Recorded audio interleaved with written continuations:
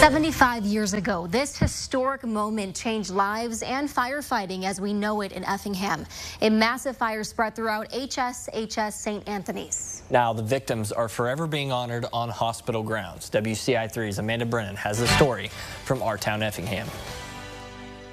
April 4th, 1949. The call come in around 11, 11.30 that night. Fire and flames engulfing HSHS St. Anthony's Hospital in our town, Effingham, killing 77 people. They did determine that it originated in the basement and first went up through the laundry chute. 27 departments responded that night, and this was one of the trucks that was there, and this ladder here on the top rescued people from a few of those top floors.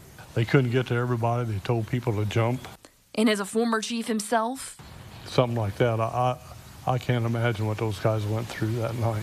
Nick Altoff and Jim Walters are with the Retired Volunteer Firefighters Association. They know the building structure was one reason it spread and spread. Wood, uh, you know, a lot of wood paneling and so forth, uh, heavy varnish over the gears, uh, open stairways, open hallways.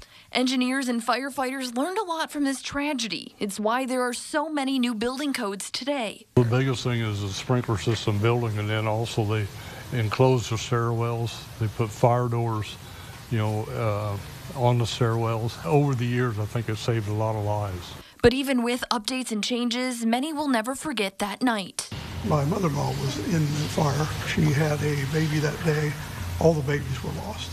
She saw flames down the hallway and crews told her to jump. Some of the staff had put mattresses down on the ground for them to jump on. Now there's a way to make sure those who died in the flames will never be forgotten. For all the people that worked in the hospital, the people that responded that night. This memorial now stands tall just outside the hospital. And I think it was a healing thing for the community. But for those who were on the ground that night, when we got on, there were still two or three or four yeah. uh, firefighters that had fought that fire. It will always be an emotional thing to talk about. They wouldn't talk about it. You bring the subject up, they'd walk away. And now, 75 years later, the memories still live on. It, it means a lot to us, and obviously it means a lot to the citizens of Effingham and Effingham County. Reporting in our town, Effingham, Amanda Brennan, WCIA 3, your local news leader. The statue stands near the hospital's healing garden by the Prairie Heart Institute right off Maple Street.